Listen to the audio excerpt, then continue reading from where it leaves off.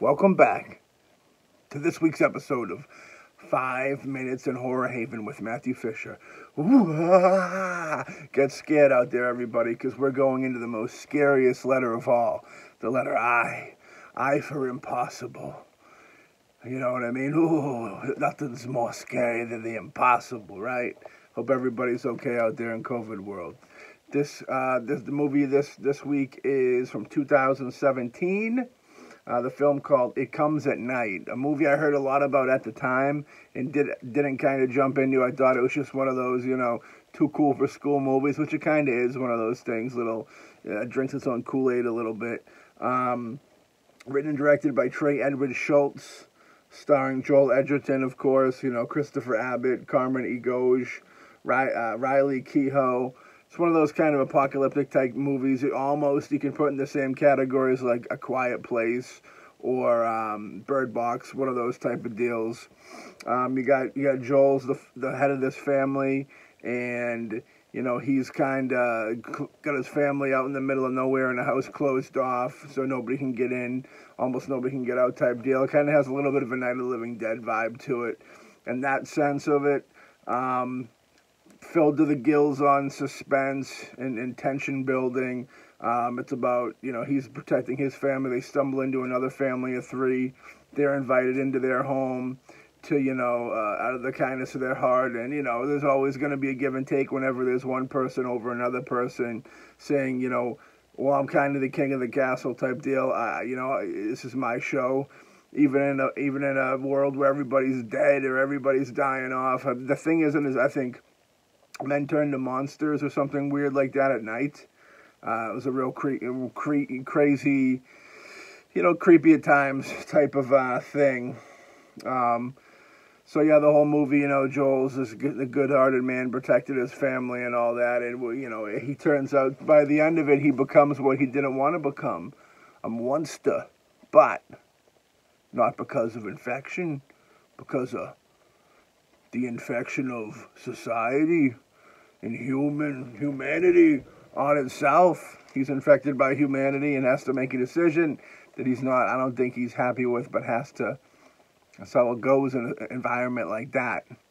But uh, I thought It Comes the Night was it was pretty good. It was worth a watch. It was worth worth one of those movies worth watching to say that you um to say that you watched it and then moved on.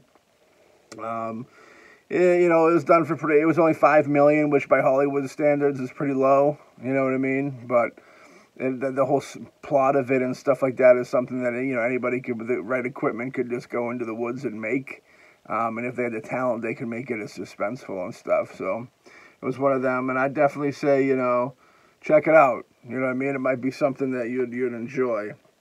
Um, like I said, I thought it was pretty good. Um, I, I'm glad I didn't buy it. It's not a movie you're going to want to watch twice, I feel. But um, you get that first watching it, you're pretty good. And it's on Netflix, so go figure. All right, our vinyl of this week is one of my most most favorite ones of recent date that have come out in the last couple years. It, it the television, the television miniseries got its own vinyl. Now, I used to watch the, the hell out of that tape growing up, and I love it. the, the, remake, I enjoyed the remake, both one and two. You know what I mean? I thought they were nicely done too. But you'll never get, you know, part one will always play in my heart, very special like, very special like. Got Georgie and his cover right here, which is very nice. You know, Richard Bellis did the score for it. Um, let me see. These are called multicolored vinyls. Yeah, you got something right here. You got like a little cutout. Right here we got a nice red vinyl. Ooh, blood red. Blood ready. Blood red like the balloons and the blood and the cum. All mixed together, child. All mixed together. Oh, I think they could all be. I think one of them's... I thought that was yellow, blue, and... But we got another red. We've got one more red. Let's see. I believe they're supposed to be three different colors, boss. Maybe I got the jip, boss. Imagine, like, looking at them deeper and realizing they're all the same record.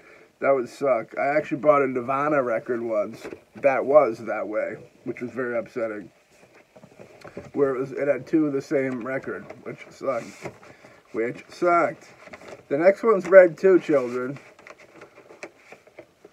You know, I won't take it all the way out. Bada boom, bada bang.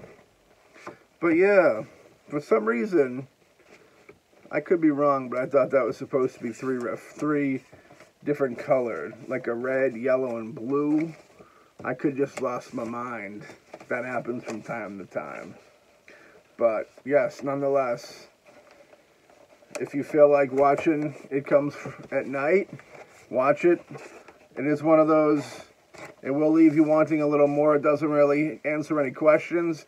And to be honest, nothing comes at night.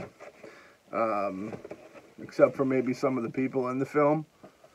Uh, they come at night, and they turn they turn on Joel's son by coming at night, gets him in a sexual mood. You know what I mean? All right, enjoy. Be safe.